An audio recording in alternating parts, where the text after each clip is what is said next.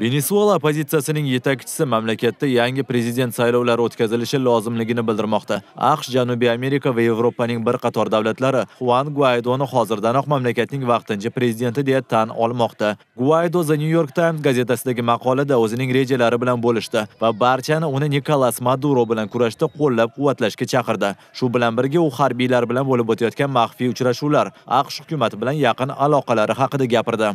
Prezident Tramp bilan juda samarali suhbat o'tkazdim. Shu bilan birga vitse-prezident, senatorlar, Argentina, Chili davlatlarining rahbarlari bilan ham uchrashdim. Hozirdagi eng asosiy narsa keng koalitsiya tuzishdir. Xalqaro hamjamiyat Venesuelani ozod qilish uchun yordam bermog'i kerak. Nikolas Maduro esa mamlakat telekanallarida o'z chiqishlarini davom ettirmoqda. Chorshanba kuni u harbiy paradda ham ishtirok etdi. Menga har doim ishonishingiz mumkin, ammo hozirda menga ham sizdan yordam kerak. Men uchun ibodatda bo'lishingizni so'rayman.